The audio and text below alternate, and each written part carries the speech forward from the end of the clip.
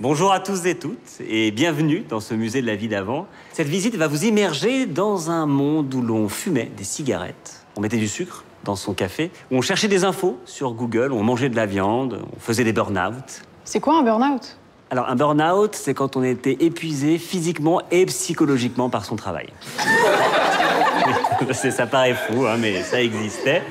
C'était une époque euh, très différente, mais finalement pas si lointaine, hein, puisque l'exposition que vous allez découvrir couvre toute la période, allant de 2013 à 2023. Je vous propose tout de suite de passer à la première installation, sur votre droite. Vous pouvez voir ici divers objets qui furent très utilisés dans les années 2010, comme par exemple euh, des clés. hein. ça, ça servait à ouvrir ou fermer des, des portes, des, des tiroirs, voilà. Et euh, c'est quoi ça? Ah, des Pokéballs. Alors ouais, ça c'était une espèce de d'arnaque organisée qui consistait à faire payer des falafels, des damamés, des petits pois environ euh, 17 balles pour avoir faim euh, deux heures et demie plus tard. Qu'est-ce qu'on avait d'autre? Ah, une télécommande, ouais. Ça c'était très chiant, c'était pour allumer ou éteindre la télé, on les perdait, fallait changer les piles. Heureusement, la commande vocale est arrivée, hein. faut juste pas être euh, dyslexique ou aphone euh, ou bègue. Et euh, là-bas, le truc rose, c'est quoi?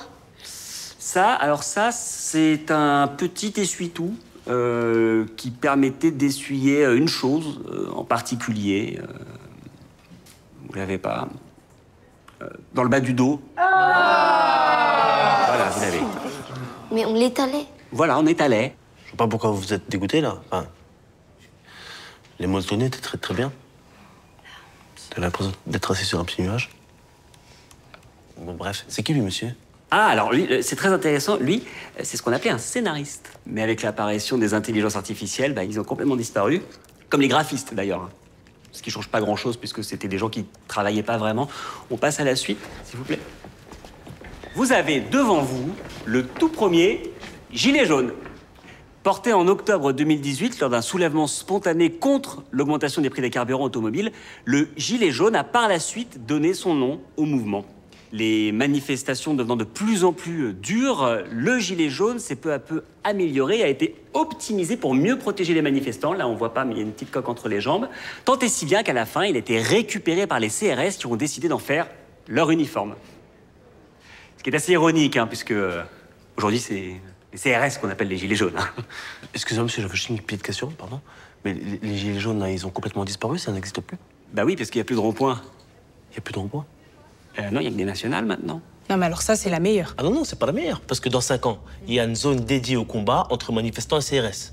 Et si les manifestants y gagnent, eh ben la loi, elle passe quand même. Ça, ça change pas. C'est ouf. Ouf, gueudin, meuf, cum, yinche. Ils ont repris une chanson de Juste l'Enfoiré ou quoi Mifa, turfu, C'est qui ça Quinry, rush, T'es qui, toi ripou, tromé, Charonard. cimer. Ouf, Yankli, Maptou, Yinche, fils de Yinche. Tout ça, c'est fini. Hein. Le verlan qui consistait à inverser les syllabes de certains mots a totalement disparu en 2025. On se souvient qu'à l'époque, l'ancien président, M. Macron, avait tenté toute une allocution en verlan.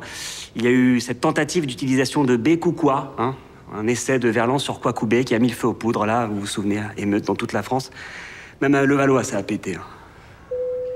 Mesdames, Messieurs, bonjour. Mon nom est Manon et je suis votre chef de cabine. Le commandant et l'ensemble de l'équipage ont le plaisir de vous accueillir à bord de ce Boeing 747 à destination du musée de la vie d'avant. Les Bah ouais, j'avais téléspectateurs dit. doivent Ça va Ah, mais arrête-toi, c'est gênant. et ce, Tais-toi, t'es pas gênant, toi, avec la coupe. Non, mais c'est pas la question, fais pas ça, ok En cas d'amérissage, mettez votre gilet de sauvetage en passant la tête par le trou et en attachant la sangle autour de votre taille. Serrez-le bien et gonflez-le en tirant sur les languettes rouges lorsque vous quittez l'avion par les sorties d'urgence. T'es vraiment bizarre, Votre toi. gilet de sauvetage T'es pas bizarre, est toi. équipé d'un sifflet pour attirer l'attention des T'as vu secours. comment elle siffle bien Bon, bien sûr, tout ça, hein, c'est de l'histoire ancienne, puisque le dernier vol commercial a opéré le 31 décembre 2024. Depuis, toutes les hôtesses de l'air se sont reconverties dans la traduction pour sourds et muets. Voilà. Là, j'ai pas compris, par exemple. Monsieur, excusez-moi, en fait, j'ai pas compris non plus. S'il y a plus d'avions, comment est-ce qu'on part en vacances? Mais- M- Monsieur, le- les frontières sont fermées, on, on reste en France. Mais la Thaïlande, par exemple, monsieur. La Thaïlande. Oh, le truc sous l'eau? Ah bah oui, il y a plus. hein.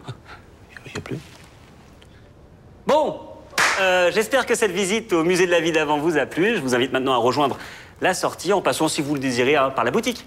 On a plein de choses à vendre. Comme des hand spinners. Allez-y sur les hand spinners. On ne sait pas quoi en foutre de ces truc. Merci. À bientôt. N'hésitez pas à revenir. Merci d'être venu. Merci. À Parlez-en très à bientôt. Au revoir. Revenez quand vous voulez. Au revoir. Au revoir. Merci, merci d'être venu.